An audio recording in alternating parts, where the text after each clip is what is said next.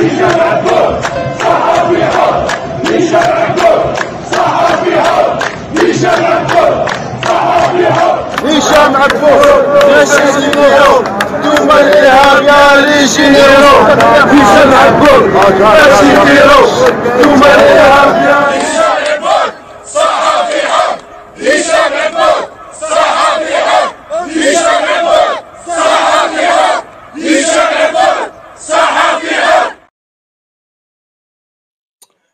Bonsoir, euh, salam alaikum, sahabaturkum. Euh, Bienvenue sur la chaîne Hicham Aboud TV. Hicham Aboud, Sahafi Har, comme l'a répété à maintes reprises le peuple algérien dans les rues des différentes villes algériennes. Hier, j'ai eu le plaisir de participer à euh, un débat sur la chaîne marocaine Médiane TV, un débat sur euh, l'annonce de la présidentielle anticipée algérienne. Et euh, c'est un débat qui est de très haut niveau, puisque en participé à ce débat, qui, était sur le plateau à Rabat, Monsieur Mustafa Sehimi, auteur universitaire marocain, diplômé des sciences politiques en France et licencié en droit à Paris 1.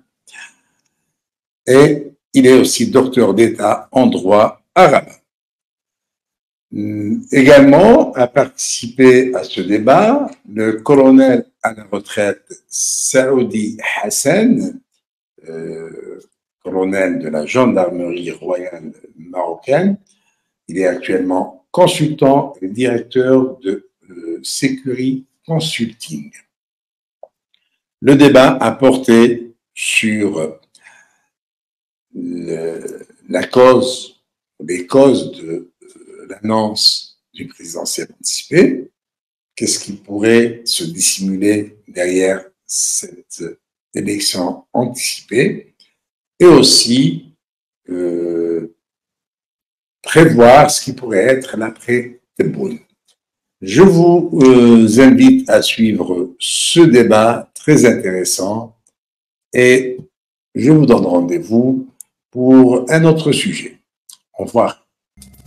Madame, Monsieur, bonsoir. Présidentielle en Algérie le 7 septembre prochain et deux questions. Qui pour succéder à Abdelmajid et pourquoi le chef de l'État a décidé d'anticiper ce scrutin initialement prévu pour décembre alors qu'on parlait d'un report Le président sortant crée ainsi la surprise, mais ce n'en sera pas une s'il se déclare candidat. Il peut en effet briguer un second mandat comme le lui autorise la Constitution qui a été amendée, rappelons-le, en 2020. Cette précipitation du scrutin a sans doute créé la confusion pour ses potentiels adversaires de la classe politique algérienne, car en apparence, rien ne justifie vraiment cette décision. Qu'en est-il de la grande muette? Cette décision fait-elle l'unanimité dans les rangs de l'armée? Qui pourrait être contre une reconduction de Tebboune à la tête du pays? Les élections en Algérie ont souvent été entachées de controverses, d'allégations de fraude et de manque de transparence et beaucoup d'inquiétudes quant à l'intégrité entoure le processus démocratique. Mais voilà, malgré ces défis, les élections restent un mécanisme essentiel pour la participation politique et le changement dans le pays. Et historiquement, l'Algérie a été confrontée à des difficultés pour parvenir à une véritable gouvernance démocratique avec des périodes de régime autoritaire entrecoupées de tentatives de réformes politiques. D'ailleurs, le dernier en date a éclaté en février 2019. Le Hirak avait alors coûté son siège au président de longue date, Abdelaziz Bouteflika, ce qui a fait naître l'espoir d'une réforme politique et d'une plus grande démocratie. En parlant de démocratie, 2024 est euh, sans aucun doute une année décisive dans la pratique électorale dans 76 pays autour de la planète. Que changerait-elle réellement pour l'Algérie? Pour répondre à ces questions, se joint à nous par Zoom euh, mon confrère et écrivain algérien Hichem Aboud. Bonsoir et merci de vous joindre à nous dans Questions d'actu. Bonsoir, merci pour l'invitation. Marhaba. Et avec moi en plateau, le politologue et professeur de droit à l'Université Mohamed V de Rabat, Mustafa Sahimi, bonsoir. Bonsoir. Et en face, l'expert en sécurité et en stratégie, le colonel Hassan Saoudi. Bonsoir, colonel. Bonsoir, madame. Bienvenue encore une fois à vous sur ce plateau Et merci de questions d'actu. Alors, euh, Hicham Aboud, donc une élection avancée contre toute attente. On va juste rappeler peut-être déjà ce communiqué de la direction de la communication de la présidence de la République euh, qui réagissait à certaines rumeurs d'un possible report du scrutin. C'était fin, fin février. Je cite ce, rapport. Euh, les élections auront euh, lieu en temps tel que c'est prévu par la Constitution et ce par respect pour le peuple algérien, seul détenteur de, de la souveraineté. Fin de citation. Et un peu moins d'un mois plus tard, voilà, on décide eh bien, de euh, reporter ces élections. Est-ce qu'on peut déjà parler d'une euh, raison directe du report de ces élections, selon vous, Hicham Aboud? D'abord, ce n'est pas la direction générale de la communication de la présidence qui avait assuré que les élections auront lieu euh, en leur temps, mais c'est un communiqué de l'APS dont l'auteur reste un inconnu.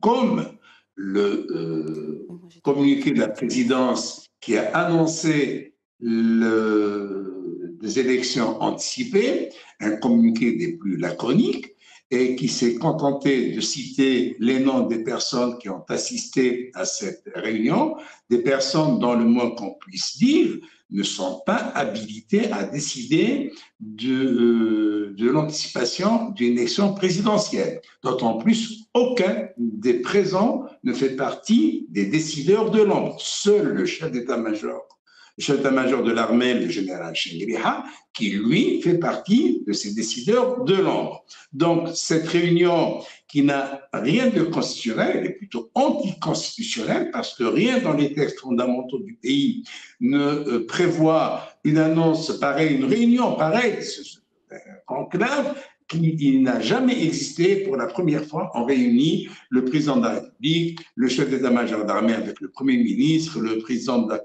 du Conseil constitutionnel, la Cour constitutionnelle constitutionnelle, le président du Sénat, le président de l'Assemblée nationale, le ministre de l'Intérieur. Euh, euh, ces gens n'ont aucune euh, compétence pour annoncer euh, une, élection présidentielle anticipée. Parce que cette élection anticipée signifie qu'on a écourté le mandat du président actuel. Et lorsqu'on écoute le mandat du président actuel, même si la Constitution, son article 91, alinéa euh, 11, elle autorise le président de la République à annoncer les élections présidentielles, c'est le président de la République qui annonce, et non pas un groupe qui n'assume pas de, responsa- de responsabilité, puisqu'on lit très bien dans le texte, il a été décidé d'organiser une élection présidentielle anticipée le 7 septembre 2024. Qui est ce il? Ce il, c'est euh, un pronom impersonnel comme le on. Euh, il est large, euh, il ne situe pas de responsabilité, il est indéfini. Et ce il adopté dans le communiqué de la présidence de la République n'a aucune identité politique ni de valeur juridique. Il est immoral et contraire à toute éthique parce qu'on n'annonce pas une si grande décision euh, sans que son auteur ne soit connu.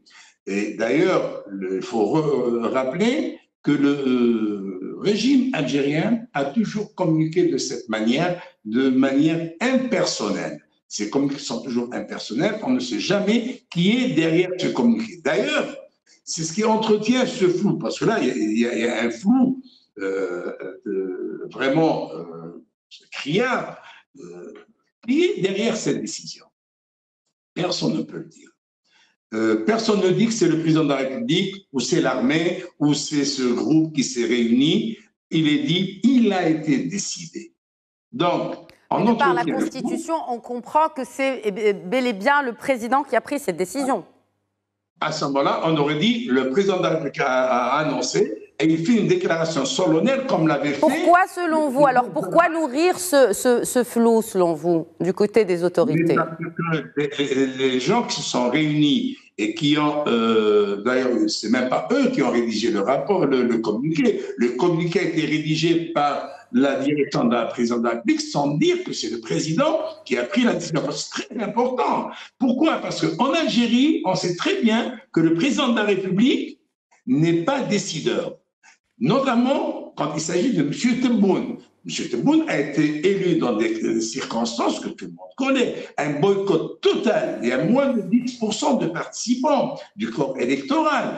Euh, deux wilayats entières, la wilaya de Tizi la wilaya de Béjaïa, pas des villes, les wilayats, les deux wilayats entières n'ont pas participé au scrutin. Euh, le président s'est présenté avec des lièvres qui ne pèse absolument rien, et puis il s'est présenté sans parti politique, alors qu'il est membre du conseil central du FLN, mhm. ce que le FLN n'a même pas présenté. Il faut voir les conditions dans lesquelles a été élu. Tebboune n'a aucune légitimité pour qu'il puisse euh, être un décideur. Ça, c'est les faits qui le disent. C'est pas moi, c'est pas X, c'est pas Y. Ça, ça se posait aussi les questions si euh, effectivement, euh, qu'est-ce qu'on pense de la légitimité du président de prendre une telle décision. Mais en tout cas, on va y revenir sur cette anticipation autorisée ou pas hein, de, de, de, ces élections. Mais, mais, mais avant, alors, on connaît cette constitution algérienne. Elle a été revue en 2020 euh, professeur Srimi. Et euh, peut-être d'abord une réaction euh, par rapport à l'avancée de ce scrutin. et puis on parlera de la Constitution. Je voudrais vous proposer une lecture différente de celle qui a été faite par Hicham donc, Aboud. La lecture est différente, elle est celle-ci. Il y a un texte constitutionnel l'article 91 qui confie au seul président de la République la possibilité de faire des élections anticipées. C'est une compétence personnelle, c'est-à-dire qu'elle ne peut pas être déléguée, et c'est une compétence exclusive, c'est-à-dire qu'il y a une, une interférence d'aucun autre organe. Ça, il faut que ça soit clair. Maintenant, nous sommes face à un acte qui est un acte constitutionnel et un acte politique.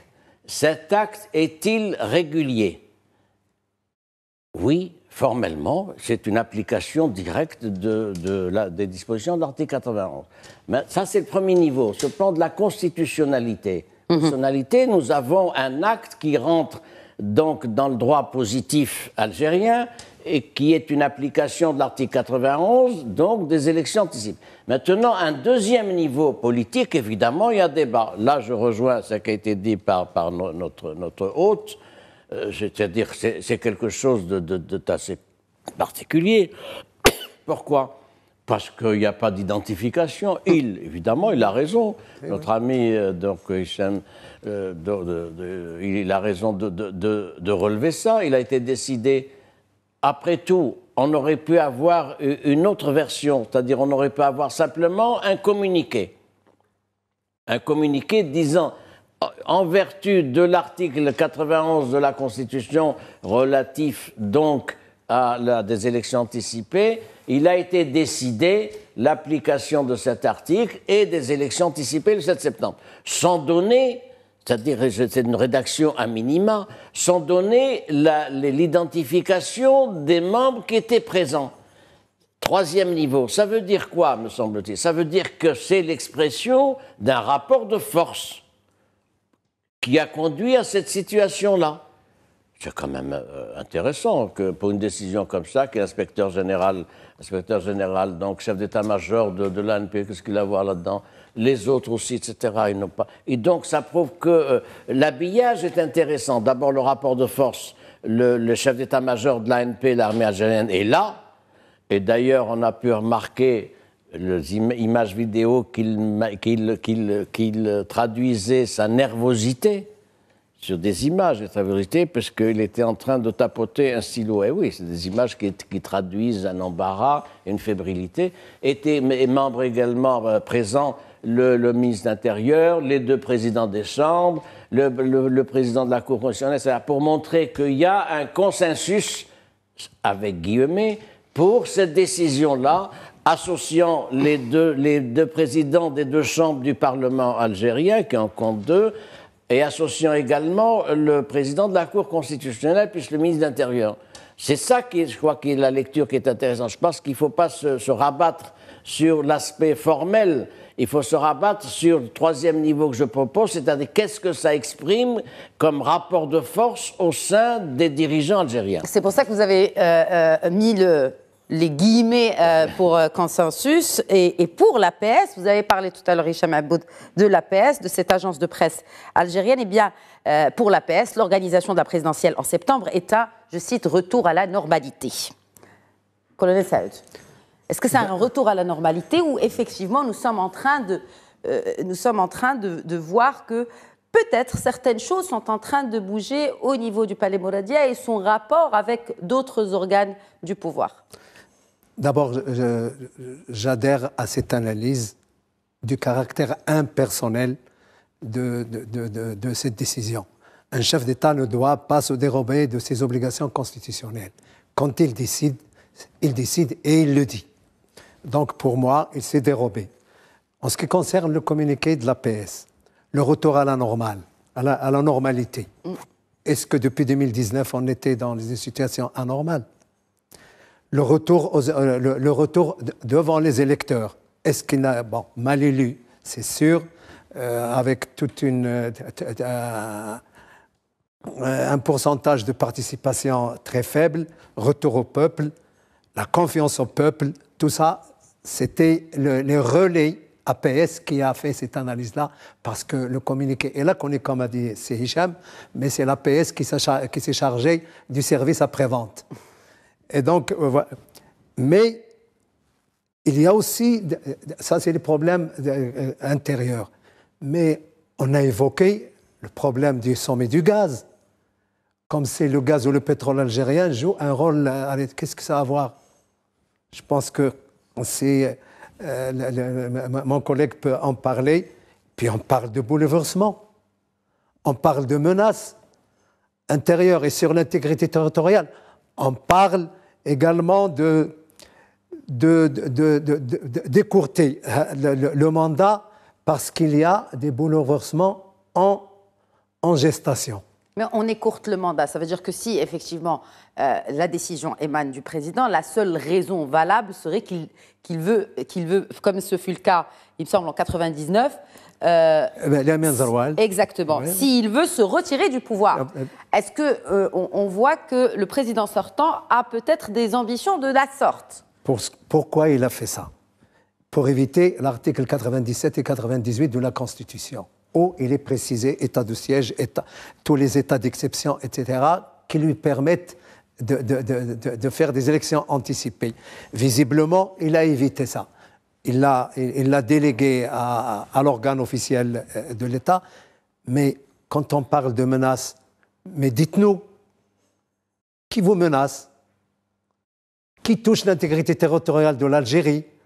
C'est les explications qu'il ne veut pas donner. Donc on veut rester dans le flot artistique pour justifier une décision qui est quand même constitutionnellement, constitutionnellement très grave on, on, ne fait pas des, des, des, des, élections anticipées en se rasant le matin et par plaisir. Et donc, il y a ici quelque chose de flou, mais j'imagine que l'influence de l'institution militaire a été derrière tout ça. Et on sait que le de président. l'institution militaire Je ne dis pas que l'institution militaire est monolithique, au contraire. Le, collègue peut en parler il y a le, le, les, franco, les francophiles, il y a les russophiles, il y a ceux qui sont au milieu. Et ce n'est pas une euh, entité euh, monolithique comme il semblerait. Et il y a au sein de cette institution euh, des, officiers qui veulent que le, pré le, le président ne, ne rempile pas. Sauf que il ne, pour essayer de maintenir cette union artificielle au sein de l'armée, on ne le dit pas. Mais le courant existe. Et derrière tout ça, il y a l'ancien détenu. C'est le, le, le, ce qu'ils appellent Arbdzeir, euh, qui est là et qui tire les, les ficelles. Taufiq Medienne continue à tirer les ficelles après être sorti de, de, de prison par un jugement d'acquittement dont on ne sait de, comment il a été fait. Et nous sommes en train de voir que les, la, la, stratocratie continue, la gérontocratie ne s'arrêtera pas. Et c'est dommage pour un pays. Et la euh, compétence Ah ben, ça, c'est, c'est peut-être la vertu cardinale la plus nég- négative dans ce pays. Hicham Aboud, peut-être une, une réaction euh, euh, par rapport au, rôle, au rôle de cette institution militaire. Est-ce que effectivement vous pensez qu'elle a euh, soutenu cette décision de la présidence de d'avancer la date du scrutin électoral de trois mois? Et si oui, qu'est-ce qui aurait aussi encouragé, motivé ce soutien de la part des, euh, de l'armée. Écoutez, je connais bien l'institution militaire, non pas parce que j'ai servi il y a trois- 33 ans, je l'ai quitté, mais je reste en contact avec des officiers qui continuent à m'informer, ce qui fait que je dérange énormément à travers ma chaîne euh, YouTube, et c'est ce qui explique les tentatives d'assassinat dont j'ai fait l'objet, et même les récentes tentatives d'infiltration de ma chaîne euh, YouTube et de ma messagerie électronique que j'ai dévoilée devant tout le monde. Donc, je connais bien cette institution. Elle n'a pas soutenu. C'est elle qui est l'instigatrice de cette annonce. L'annonce vient de l'institution militaire et l'institution militaire, c'est connu, elle ne s'affiche jamais. Les généraux algériens n'assument jamais ce qu'on appelle le pouvoir occulte. Ils- ce sont des hommes qui euh, prennent euh, comme devanture des civils, des pantins, qu'ils dirigent en bons marionnettistes.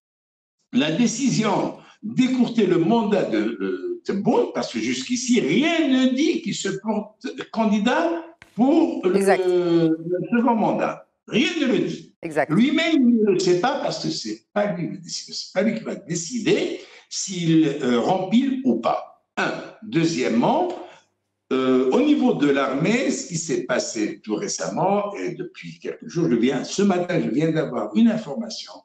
Faisant état de l'incarcération d'une cinquantaine d'officiers du grade de colonel, lieutenant-colonel à la prison militaire de Blida pour une fuite concernant un état d'alerte qui devait être annoncé le, 1 le 11 avril et, qui a, et dont l'ordre a été donné verbalement par le général Shengeriha.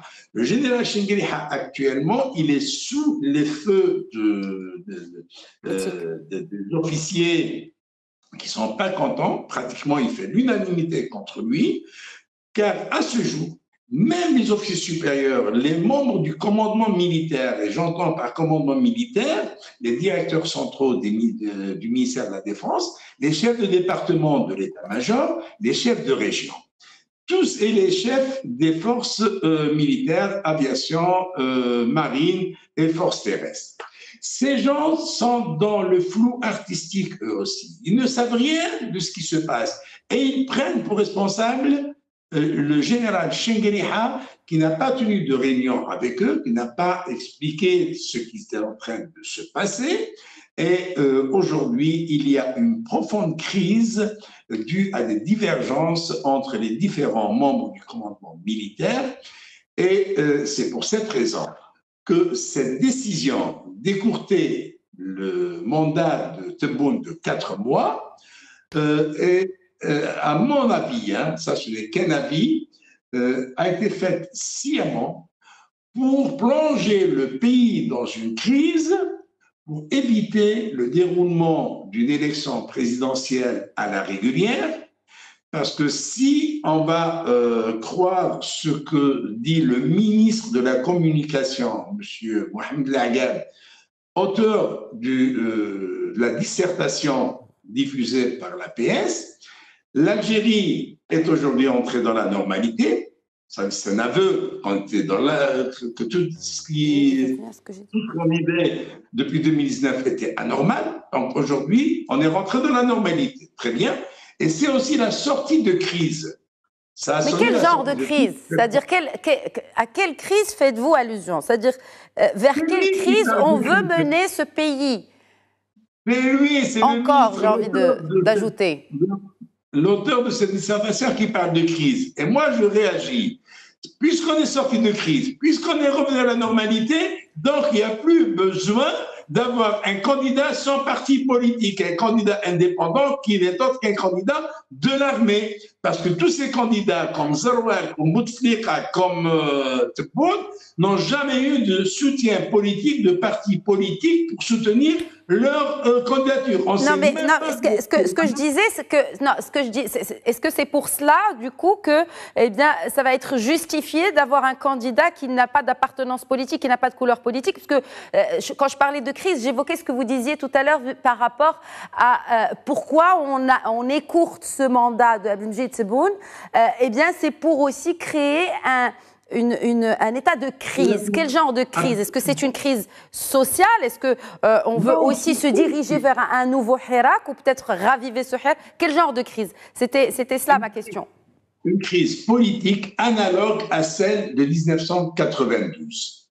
On va dire, c'est-à-dire parce que si jamais le Hirak, le peuple, aura un candidat, et actuellement, ils sont en train de se concerter entre eux. Il y a eu deux réunions il y a deux jours de cela, l'une chez Maître Bouchachi et l'autre chez euh, Mohsin Belabès, l'ancien président du RCD. Il y a Madame euh, Zubida Assoul, euh, qui s'est portée candidat elle aussi. Donc, euh, si jamais il y aura un candidat euh, de la majorité silencieuse, je dis bien la majorité silencieuse, c'est le peuple, ça va fausser tous les calculs des décideurs de l'ombre. Alors, pour ne pas céder le terrain, ce qu'ils vont faire, ils vont plonger le pays dans une, euh, dans une crise. Et là, ils commencent à préparer. Le 7 septembre, les élections, ça veut dire que la campagne électorale va se faire en, mois, en plein mois d'août. C'est la période des congés, des, vacances, euh, aussi tout ce qui va être entrepris par euh, les, décideurs de l'ombre, par ce pouvoir occulte, va passer inaperçu. Et Mais ça, sera sans compter sur les réseaux sociaux, Hicham Aboud. Ça sera sans compter sur les réseaux sociaux. Et là, vraiment, je pense que c'est un élément qui change, qui pourrait changer la donne, ou pas. Vous savez que pour juste vous cliquer un j'aime sur Facebook, vous êtes en prison. Je vous invite à lire la page du Comité national pour la libération des détenus sur Facebook quotidiennement et à travers le territoire national, des gens vont en prison, des gens sont incarcérés, sont traduits en justice pour atteinte à la sécurité nationale, attroupement non armé, etc. Des, des accusations euh, prêtes à porter.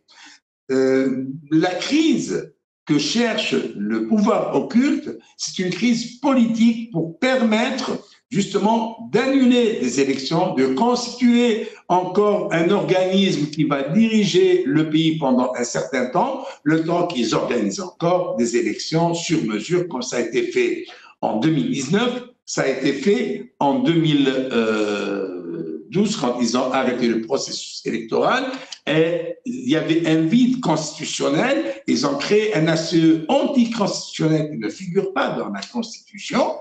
Et euh, on nous a mené jusqu'à 96. 96, il y a eu démission de, euh, du président Zaroua de son poste de, conseil de, président du Conseil d'État.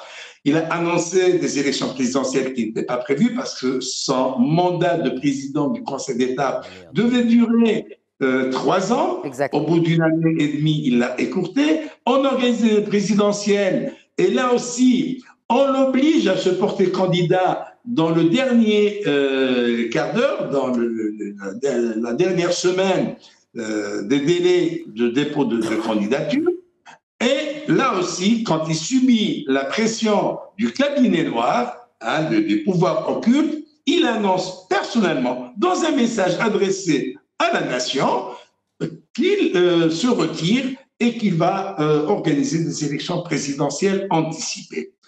Et là, on est encore dans une crise. C'est-à-dire, on a poussé Zarwal vers la démission et on ramène Bouteflika. Bouteflika est élu dans des conditions de crise encore, puisque les, les, concurrents qui étaient tous des, grosses pointures, on avait Hussein Ahmed, on avait euh, Mouloud on avait euh, Youssef Khatib, l'ancien chef de la wilaya Euh, donc, euh, euh, là, il y a trois. Donc, il y avait de grosses pointures. Qu'est-ce qu'on a fait? On a poussé les concurrents de Bouteflika à se retirer. On a laissé Bouteflika seul candidat. Normalement, c'est un seul candidat. Les six qui se retirent, on doit annuler les élections. Non, ils ont continué. Mais en 2019, quand un seul candidat s'est retiré, qui était Bouteflika sur la de la rue, eh ben, on a annulé les élections.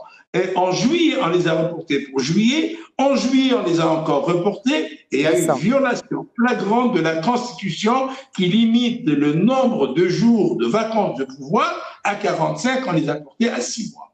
Voilà comment on veut créer un état de crise pour continuer à régenter le pays à leur manière. Et là, seule l'institution militaire est responsable. Ne me dites pas que le président du Conseil d'État ou que le président de la République ou le président de l'Assemblée nationale sont responsables de quoi que ce soit. Ce sont tous des exécutants devant l'institution militaire dans le, les, les, les généraux, les membres du commandement. Aucun d'eux n'a le courage d'assumer sa responsabilité. Leur point fort, c'est la dérobade. Ils se dérobent de leurs responsabilités pour laisser le peuple face à la crise. Et d'ailleurs, je dois souligner que le communiqué de la présidente de la République a été accompagné par des appels téléphoniques aux patrons des médias algériens 27 euh, chaînes de télévision publiques et privées, plus une centaine de titres de la presse euh, papier. Des appels téléphoniques ont été donnés pour les sommer de ne pas analyser, de ne pas commenter, de ne pas euh, organiser de débat. Comme si c'était un non-événement, en fait. Comme, si c'était un non-événement. Absolument. Ils ont fait des grands événements. Il n'y a pas plus qu'une euh, élection présidentielle. Mais tout ça, c'est fait sciemment. C'est fait dans le but de priver le peuple algérien de fuir de sa liberté. On prive le peuple algérien de son autodétermination il est en train de défendre pour d'autres peuples, y compris pour des mercenaires. Très bien. Alors, euh, Mustafa Sremi, euh, parlons de cette classe politique, justement, cette classe politique atone, euh, classe politique sans voix. On en a parlé euh, juste avant euh, de, ces, de ces partis politiques. Enfin, si on peut encore parler d'opposition, il y a combien de partis politiques aujourd'hui au Parlement euh, algérien? Et qui pour succéder à Tebboune déjà? Pour, pour qu'il y ait un successeur éventuel au potentiel au président Tebboune, il faut un profil. Il faut un profil particulier qui réunisse un certain nombre de traits, lesquels euh, la participation à la révolution n'est plus un critère. Tebboune, n'a jamais été étudiant à Alger, il n'a jamais, il a jamais même, manifesté euh, au moment de l'occupation, etc. Donc c'est réglé. Donc c'est important. Il y a eu là une, césure importante du fait que Tebboune est un haut fonctionnaire qui a, fait l'école d'administration, un fonctionnaire, préfet, tout ça, etc. Donc il y a ce critère qui a sauté. Il faut une légitimité, quelque part, une crédibilité et une expérience gouvernementale. Alors, quand vous prospectez le marché algérien, il n'y a rien. Il y a les profils de l'ancienne classe d'âge, de l'ancienne génération, lesquels? Talib Ibrahimi, ancien ministre des Affaires étrangères, mais, vous savez, il a 92 ans. Vous avez Sid Ahmed Ghazali, qui d'ailleurs, ancien président de la Sonata, qui revient d'ailleurs euh, de manière singulière ces temps-ci, mais il a 86 ans et, il avait été chef du Premier ministre de 90 à 91 quand les militaires ont arrêté le processus. Le processus qu'il y avait. Il y a euh, euh, Ali Benflis, Hannibal Fils, qui a été Premier ministre, tout ça, etc., qui a été candidat trois fois aux élections présidentielles, en 2004, 2012 et 2019. Il a, fait quand même 10-12% des voix, mais qui, en, 1999... Qui a, un, fils en prison. Oui, oui en plus, c'est vrai. Et en 2019, il s'est retiré complètement de la vie politique. Donc, c'est un système qui ne produit pas de, de nouvelles élites, globalement, et qui ne produit pas non plus de, un leadership. Et c'est pour ça qu'ils en sont C'est de la responsabilité aussi hein, du système partisan algérien, ça je veux dire. Oui, oui, parce que c'est un système qui est corseté, qui est aussi clientéliste, qui est sectaire. Vous savez, il y a 30 partis en Algérie, 30 partis qui ont une activité. Combien sont, sont euh, présents au, au Parlement? Ouais. Et il y, a- y y cette question-là, d'où d'ailleurs je pense aussi que cette décision euh, d'anticiper pourrait mener vers une anticipation des élections législatives, enfin du scrutin législatif euh, euh, pour la- l'année C'est prochaine. un risque qu'ils ne prendront pas pour les, les élections législatives parce que c'est un, c'est un matelas de stabilité. Euh, vous savez, euh, qu'elles savez. pourraient être Ah, anticipées, oui, les, on- les- on- les on ouvre- élections En locales. bonne stratégie, on n'ouvre jamais deux fronts en même temps. Oui, oui, mais après les présidentielles. Peut-être. En tout Alors, cas, oui. je voudrais ça reste ajouter, une théorie. Je voudrais Oui. ajouter Rapidement, ceci. C'est- parce que- Si vous le permettez, euh, euh, est-ce que, est que Tebboune avait envie d'être candidat? Oui. Et oui, non, mais moi j'ai des faits. Vous savez, il a présenté le 25 décembre dernier, voici trois mois, euh, il a réuni les deux chambres du Parlement, l'Assemblée nationale et le Sénat. C'est ce qui est inédit. Ça n'a été fait qu'en 1998 ou une, une autre fois. Ça a été fait. Euh, non, c'était en 2007 par Bouteflika. Donc c'est quand même quelque chose de, de particulier. Pour faire quoi? Le bilan, Le bilan. de 4 ans de sa présidence.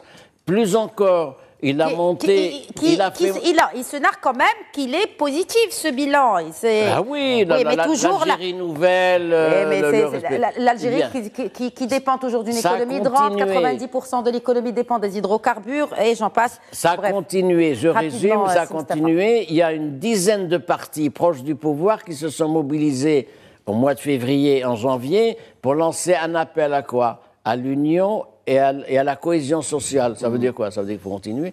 Donc nous en sommes là. Dernière observation en 10 secondes. Est-ce qu'il fait l'affaire pour l'armée? Je ne suis pas sûr qu'il fasse l'affaire pour l'armée. Mais ça, on s'en expliquera. Colonel Hassan Saoud. L'actuel président était en campagne de paix un bon bout de temps. D'où ces sorties médiatiques. Ben Ah, chacune Les plus interviews hebdomadaires. que l'autre. Oui, euh, le- voilà. Pour vanter les- ce ce qu'il a réalisé. Exact. Ce Si qu'il ce veut dit- encore réaliser. Euh, absolument. ces projets de dessalement d'eau de mer avec absolument. mirobolants. Enfin, Est-ce- est-ce que- mais c'est un, un président qui est en campagne. Mais cette séquence d'élections anticipées, dictée par l'armée, la politique se décide dans les casernes en Algérie, il faut le savoir. Et je présume qu'il y a dans les tiroirs de l'armée quelques candidats, peut-être pour théâtraliser, mais il est adoubé par l'armée.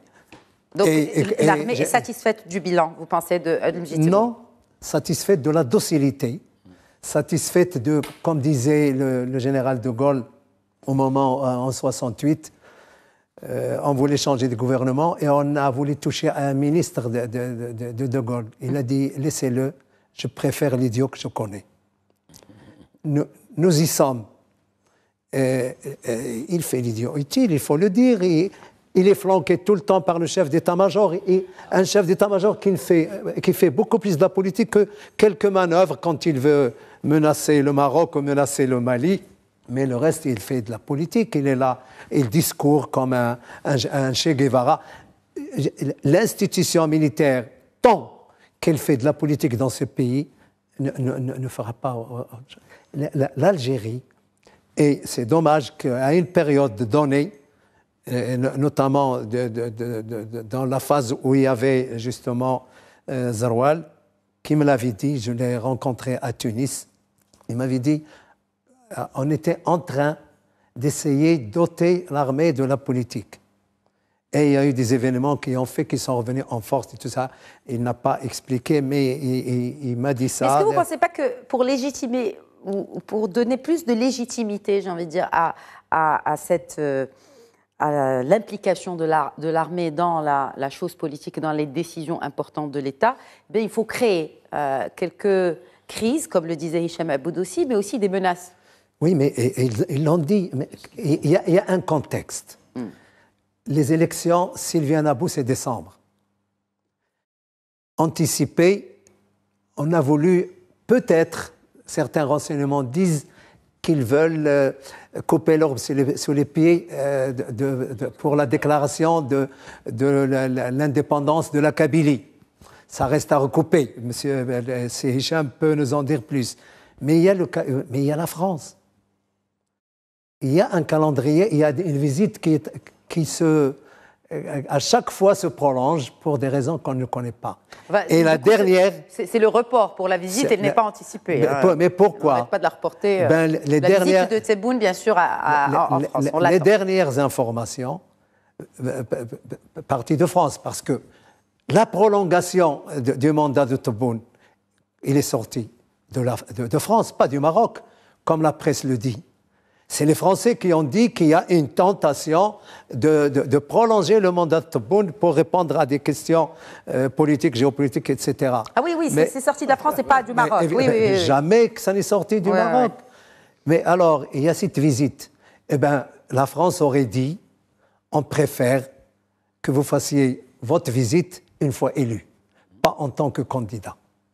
Ce sont les dernières informations. Euh, et donc là, il y a ce calendrier qui a été bousculé. Évidemment, comme.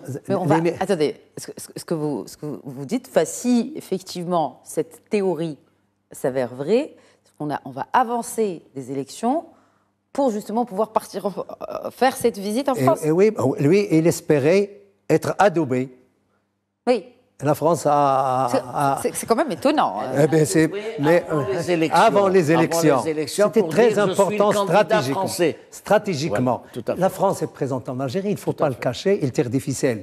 S'il était euh, euh, euh, parti dans une visite officielle à Paris avant les élections, c'est un blanc-seing français.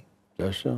C'est un, un blanc-seing français. Un Même si ça peut gêner la diaspora, qui est importante, il y a 6 millions quand même d'Algériens à l'étranger, dont la plupart sont en train de, de, de, dénoncer euh, Mais ça va à cette si parodie. C'est étonnant, ça va même à l'encontre du discours qui est prôné par le chef de l'État. C'est-à-dire, on a un chef de l'État quand même qui est pour le, euh, un retour du souverainisme algérien, de cette indépendance du, du colon français. Et, et vous dites qu'en fait, une visite en, campagne électorale ne ferait qu'appuyer euh, cette légitimité de Tebboune à, briquer un, deuxième mandat. Madame, madame, pardon, C'est contradictoire quand même. L'Algérie actuelle est l'objet d'un isolement du jamais vu. Problème avec le Maroc, problème avec la Libye, problème avec le Mali, problème avec le Niger, problème avec les Émirats arabes unis, problème avec l'Arabie saoudite, isolé dans le monde arabe, isolé dans le Avec l'Espagne, on en parle de l'Europe Avec l'Espagne, c'est du, clair-obscur avec la France. Et donc, il faut une sortie. Et ça, c'est le problème, justement, créé par Tebboune, par sa communication. Et, quand on surcommunique, on en commet des bêtises communicationnelles comme on n'en a jamais vu. On va ajouter les États-Unis. Et, les États-Unis. Du fait de l'alignement d'Alger sur Moscou à propos de la guerre d'Ukraine. Échec pour les BRICS. Tout à fait. Et donc, et donc en tout cas, peut-être que les affaires étrangères euh, euh, algériennes ont dû recevoir hein, certainement un appel de leur euh, euh, confrères euh, américains ou autres. J'imagine qu'il peut, il, y a pu y avoir quand même des réactions. parce que tout le monde a été étonné. Hein, le nouvel ambassadeur américain est parti pour ça. C'est Harris. Et, oui. Joshua, Harris. Et, oui. Et donc, vous avez un pays qui est aux abois et qui cherche n'importe quel subterfuge pour, pour apparaître et pour redorer le blason. Et le, le président gêne beaucoup de monde dans ce pays, y compris dans l'institution euh, militaire. Vous, vous, rendez compte quel, quel, terrain euh, on a perdu, euh, l'Algérie a perdu avec, ce président. Et donc on verra. Se présentera-t-il? J'imagine que oui. Donc on a ce représentatif. Oui. Hicham Aboud, je ne peux m'empêcher de vous poser la même question. Qui voyez-vous succéder au président actuel? Le grand déclaire ne saura vous répondre. Pour la simple raison que le régime algérien est habitué à la pochette surprise. Ah. Qui aurait parié un dinar, un seul dinar sur le retour de Bourdief après 28 ans d'exil? Qui aurait parié sur Chedli Bejdid, qui était un inconnu de la scène politique pour être à la tête de l'État algérien qui aurait parié sur le retour de Bouteflika, qui auraient parié sur le retour de Zarwan. Est-ce qu'il peut y avoir un retour? Alors voilà. Est-ce qu'il peut y avoir un retour d'une personnalité? Si vous parlez d'une pochette surprise, et, vous avez évoqué plusieurs retours, est-ce qu'il peut y avoir un retour d'une personnalité politique? Peut-être que l'on croyait oublier. Oui, Hicham pour voir quel âge avait un Bouteflika. Bouteflika est revenu ah aux affaires, il avait 61 ans. Donc, c'est pas vieux. Mais aujourd'hui, leur personnel, leur réserve, elle y est vieillotte, complètement. C'est-à-dire, tout à l'heure, euh, un de. Euh, Mustafa euh, voilà, qui a euh, cité des noms complètement hors champ. C'est-à-dire que euh, Ahmed Taleb ou Sidi Ahmed Ghazali ou autres, c'est déjà hors champ. D'ailleurs, ils ont sondé euh, lui aussi, il a dit, je suis malade, je suis hors champ. Actuellement, il y a un casting qui, un casting qui est en train de se faire sous la conduite du général euh, Toufir, hein, le, grand revenant. Et pourquoi le général Toufir Parce que le général Toufir a réussi à remettre en scène euh, le général Djebbar, qui était sous ses, ordres pendant très longtemps, euh, lequel a placé à la tête de la sécurité intérieure par intérim le général Abdelkader Haddad.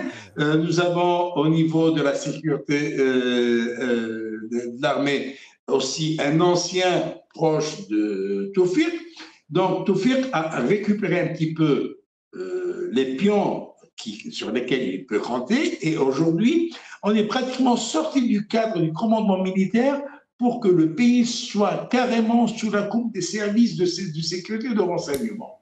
Est-ce que ces services-là ne sont pas des militaires aussi?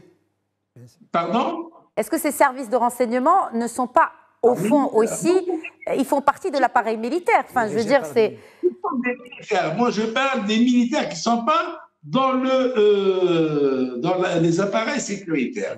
Ce sont des militaires. Mm. Mais ça a échappé aux autres. Par le passé, on avait un général Habib Lakhir, euh, un général Nouzar, un général Touati, un général Abdeslam qui n'étaient pas dans l'appareil sécuritaire. Il n'y avait que deux dans le cabinet noir qui en comptait 11, c'est le général Tofik, le général Smaïl Amari. Mm. Sur les 11 décideurs, il n'y avait que deux des services de renseignement. Aujourd'hui, pratiquement tout est entre les mains des services de renseignement.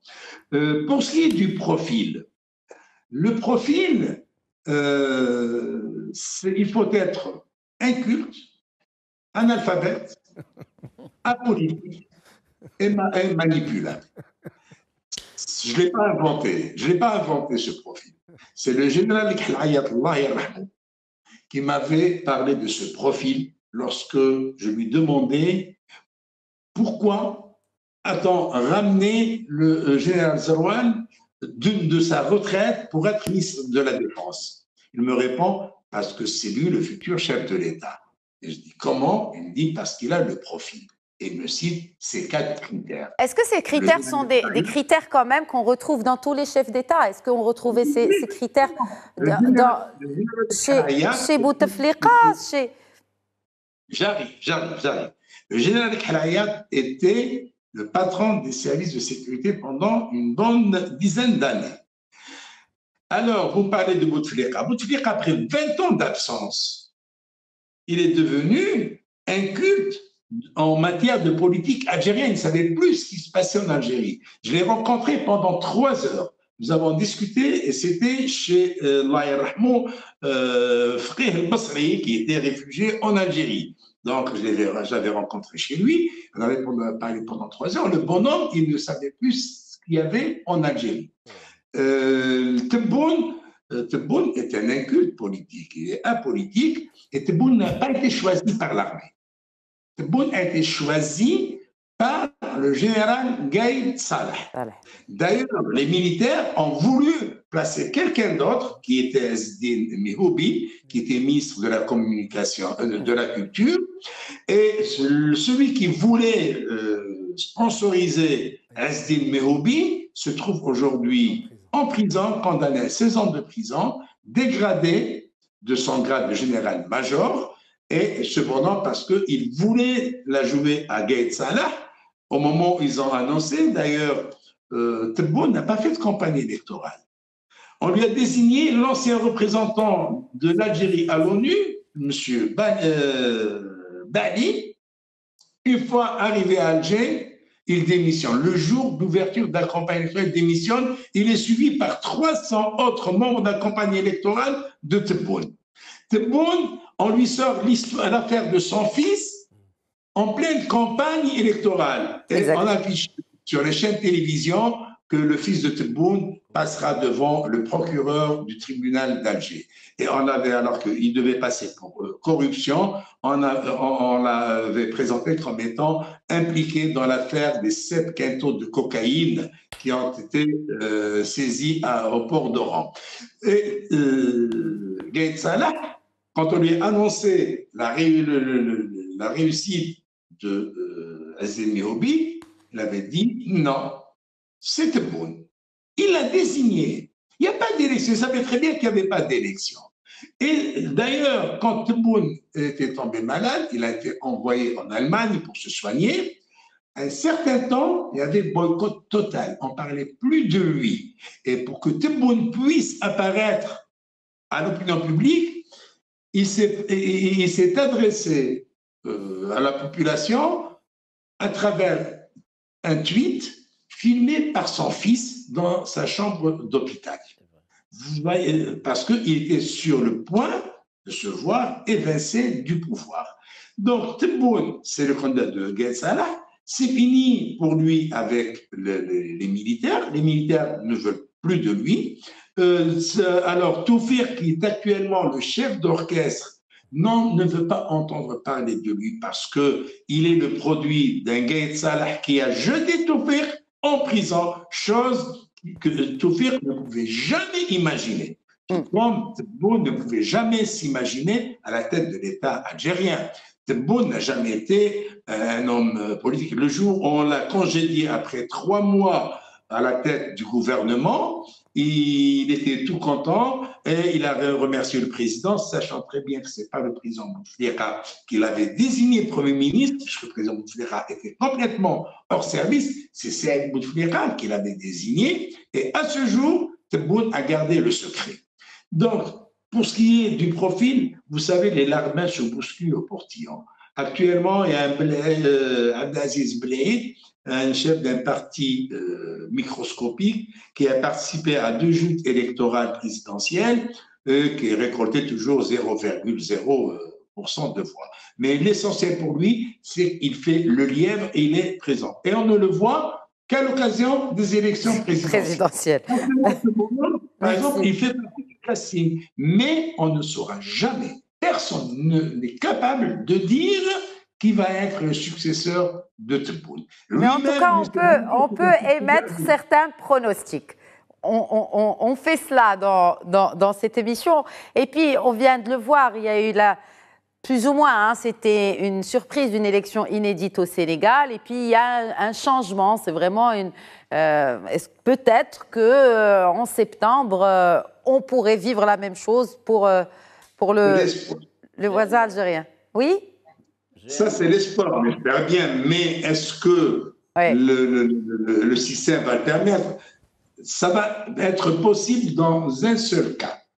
Au cas où le Hirak renaîtra de ses cendres et proposera son candidat, et là, on va fermer la porte à toute fraude électorale parce que ce qui a encouragé la fraude électorale, c'est le boycott populaire, le boycott des véritables opposants. Exact, exact. Euh, c'est un schéma théorique que développe notre ami. Moi, j'ai un nom. Je vais vous proposer un nom de successeur à Abdelmajid Tebboune. Oui. Abdelmajid Tebboune. Mustafa Sahimi. Sauf, sauf, si la biologie joue, joue son rôle d'ici là. Fidla. Bon, il a 79 ans, soit dit en passant, Fidla. Merci beaucoup, colonel Hassan Saoud. Merci, Mustafa Sahimi. Merci, également à vous, Hicham Aboud. Merci d'avoir répondu à nos questions.